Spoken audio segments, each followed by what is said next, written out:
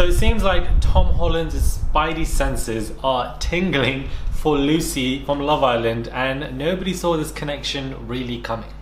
Hey guys, it's Murad Merali. Hopefully you guys are doing well today. Back at it again with another update on another video where this topic is a bit random. I think the two worlds, I didn't expect them to collide, but recently Lucie has been posting a lot of thirst traps. So it's not really surprising, just a bit random.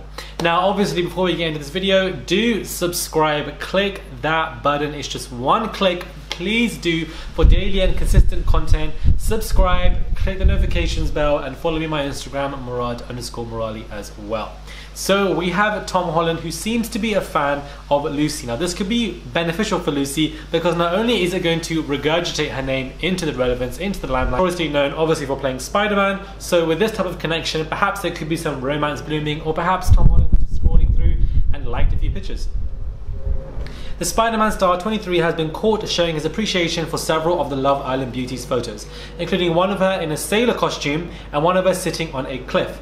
Surfer Lucie, who was booted out of the dating show in week 6, is only one of 248 people that Tom follows. He's even following her now. Even though he has a whopping 29.4 million followers, under 250 people he follows, and one of them is Lucie. Although Tom does also follow a Love Island reaction account, so maybe he's just a huge fan of the show, which could be plausible.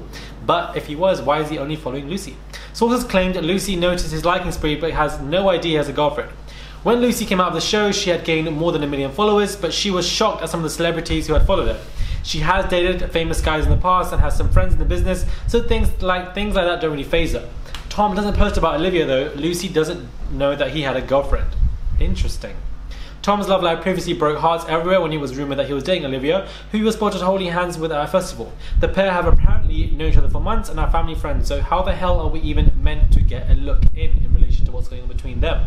Although there were rumors that obviously that he had, you know, been dating Zendaya, but apparently these two are just friends. So it seems that he does have some kind of spidey sense tingling kind of sensation for Lucie because he's liking several of her pictures. He has followed her as well. She's the only Love Islander that she's he's that he has followed from the season, but apparently he's in a relationship. So maybe this is just an Uber fan. He just appreciates the beauty and wants to see more of it, and there could be nothing to it. Or perhaps he likes Lucie, and this could be the beginning of perhaps a blossoming new relationship. And if that were to be the case, then this will benefit Lucie even more than it already is now because it's regurgitating her name and relevance. That's all that it's doing at this moment, and I feel like, that it's good press for Lucie. Now, did I see this coming? No, I didn't. I don't think anybody did, but I thought I would do a very small video on this so that we can, you know, digest this information and really just talk about it in the comment box below to, you know, what do you guys think about this? Are you here for these two? Do you think it's random? Do you think Tom is just liking pictures and following anyone that he likes?